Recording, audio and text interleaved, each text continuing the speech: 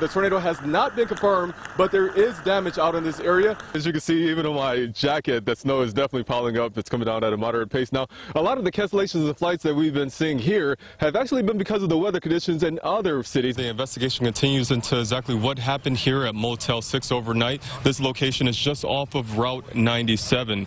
Erie County Coroner Lyell Cook says the body of a man was discovered inside the main lobby. Sean and Jill, it was a daunting task to dig out cars. Even when the snow first fell, you needed more than a brush, but now you'll likely need more than a shovel for vehicles like the one behind me. But with the race against time and the risk of people getting towed and ticketed, they're looking for help wherever they can get it. We are at the very top of the Bicentennial Tower. You know, we started from the bottom, now we're here, but that was with an elevator. But now I'm going to rappel down, and I'm just one of nearly 40 people that are going to be doing this. The others have raised up to $1,000 to be a part of this. So we're going to get started. The hardest part for doing this is taking the first step, and that's what they've been doing at the Achievement Center. They serve 3,400 people, and those children take the first step with their challenges and their goals. So we're going to go ahead and get started and start rappelling down. I've had some training. So drop your right hand down. And uh, here we go.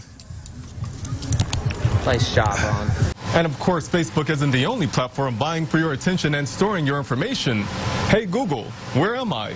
You are, JET24, FOX66, YourErie.com. Police and fire are responding to a crash outside of McDowell High School. The two-car accident involved six students celebrating prom.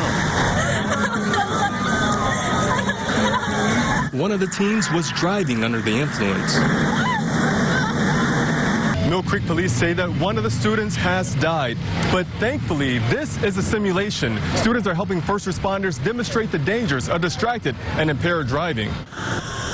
The search is underway for 28-year-old Samantha Sayers of Seattle. The Girard native hasn't been heard from since she went hiking Wednesday morning at Vesper Peak. That's about 75 miles northeast of downtown Seattle. Her car was found parked at the trailhead, but no sightings of Sayers. The Snohomish County Sheriff's Office says there's upwards of 100 search and rescue crew members looking on the ground, in the air, and with the help of canines. Lisa Sayers left Girard on Saturday to be a part of the effort to find her daughter. And we're working with somebody um, on our own who's helping us crack her phone and try to find out where she is. Lisa Sayers says she's in agony, but told us to share the video that she posted in hopes of getting the word out. Let people know that Samantha's out there and still needs to be found. That's what one of Sayers' former high school teachers is doing. It came as kind of a shock um, when you know anybody in this capacity, and then certainly, you know, when you realize the severity of it, what could happen. Sayers graduated from Collegiate Academy in 2008 when she was known as Samantha Steinbaugh. is a really smart young lady, and um, as I understand it, you know, very, very experienced at hiking. So, you know, we're just hoping and praying that, you know, she's out there and they get her, get her back safe and sound. A hope that is giving Sayers' family strength. My fear is that it may be too late. And my little girl's still out there since August 1st. But we're holding on to hope and faith that she's still okay. We saw the water rise and like to be like up to here.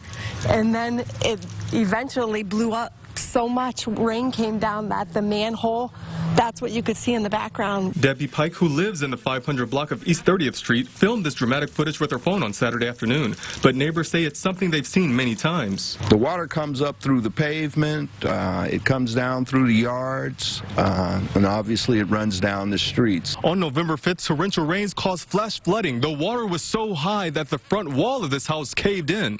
Gary Hoffman was constantly calling people to get this checked out. And it, it just was constant, and then he died. 59-year-old Gary Hoffman and his brother-in-law, 55-year-old Michael McGurn, drowned in the basement. City of Erie Public Works Director Dave Mulvihill says they're actively investigating why the problem continues to happen, even after a 2005 stormwater retention project. I mean, I understand their frustration, and, and uh, we're frustrated as well, because we thought that back when we did the project in 2005 that it had been resolved. Mulvihill says the solution could require installing a line that's larger than the current 48-inch pipe or finding a way to reduce the flow of stormwater. But in the meantime, the city has made no changes to prevent this neighborhood from flooding again. And residents say they worry every time it storms. Please, before something else happens, I mean, those two deaths, that is tragic. That we'll never, ever forget that happening. But something else is going to happen. This street is like sick it down.